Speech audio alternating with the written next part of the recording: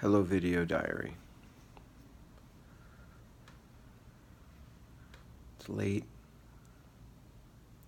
quiet.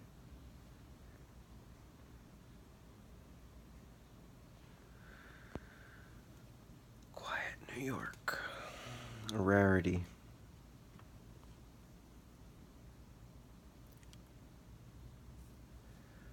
I was thinking um, what appeared on the surface to be a, an obvious thought that Forrest shouldn't have died. Just when I was uh, looking at a photograph. And uh,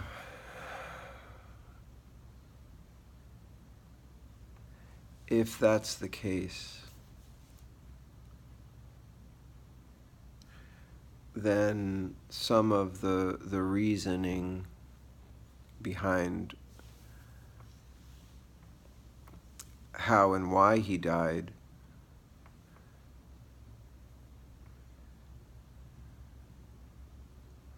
can be can be sought, can be found.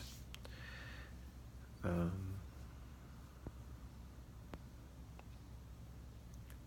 you know, things like uh, the drug impairing your your judgment, um, access to it, access to support networks that help you stay addicted.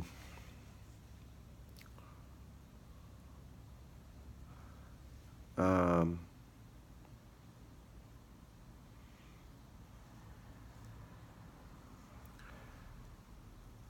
but you have some some some power, you know, uh, as an individual to analyze what's happening to you the people I talked to who got off it kind of did that. Just they just analyzed it, you know, across a metric of their feelings versus uh,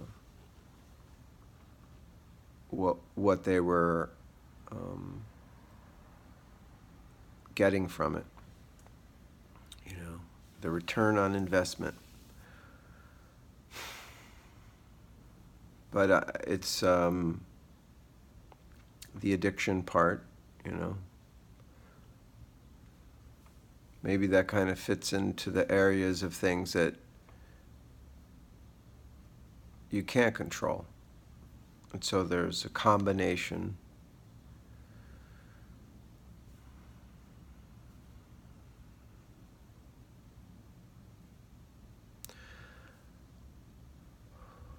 If Forrest shouldn't have died, then he could have done some things differently that might mean he'd still be alive.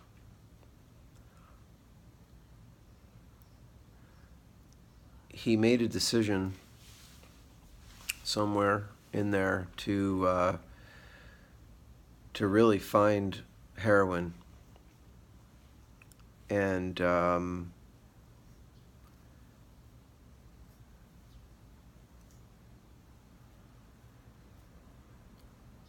that that that was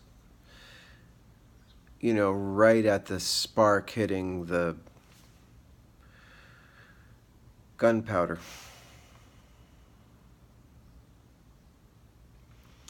And maybe there was a fuse lit, you know. Stupid analogies, but.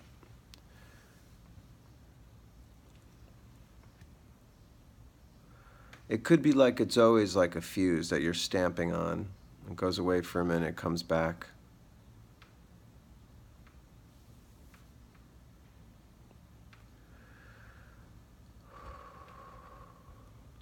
But if he shouldn't have died, it just means that there's no plan. You know, there's no grand plan, there's no master plan, there's no, you know, you know what I'm saying. And and that being the case, uh, things that you do, that I do, that we do, are going to have uh, consequences, and some of them will accumulate and become can become a very bad thing. You know, Forrest didn't just take heroin once, he was using it for some months and um, struggling with it, you know, showing his girlfriend, look, I'm throwing this out, uh, you know. I didn't. I wish I'd known right then this was going on, but uh, I'm here now, telling you that he was struggling to not do it and still did it. Instead of e- evaluating the situation and getting some help reaching out he didn't do that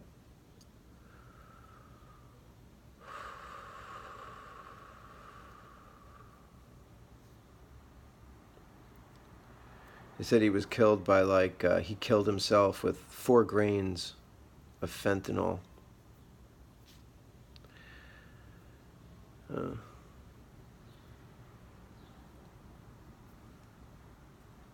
whatever.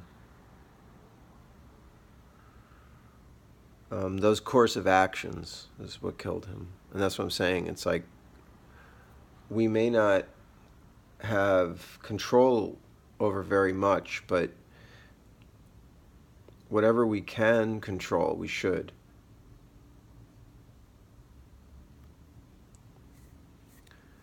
Or, or we, we do, don't do so at our own peril. You know, if you don't provide for yourself,